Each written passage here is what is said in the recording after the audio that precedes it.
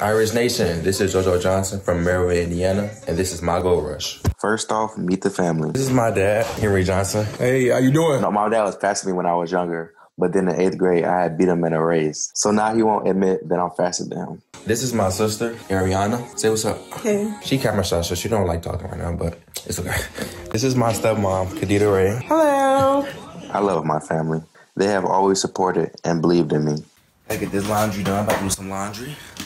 Gotta pull my weight around here. I have to go to the Y to go put some work in. I'll see you guys when I get there. Let's go.